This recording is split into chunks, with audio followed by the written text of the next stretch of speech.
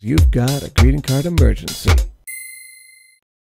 Hello and welcome to Greeting Card Emergency. I'm your host, David Ellis Dickerson, the Greeting Card Laureate of Public Radio. I've just got one card today. Uh, my Facebook feed has been flooded with uh, people telling about this earthquake that hit in 4.7 someplace in California. I've got a lot of friends in California, and a lot of them are nerds, and it gave me an idea for a card. I could send it to any number of my friends, but I'm going to send it specifically, this one, to Jackie Kashian, the comedian who just came out with a great comedy album called uh, This Will Make an Excellent Horcrux. And uh, so this is for her. You can send it to any nerd friend of your own.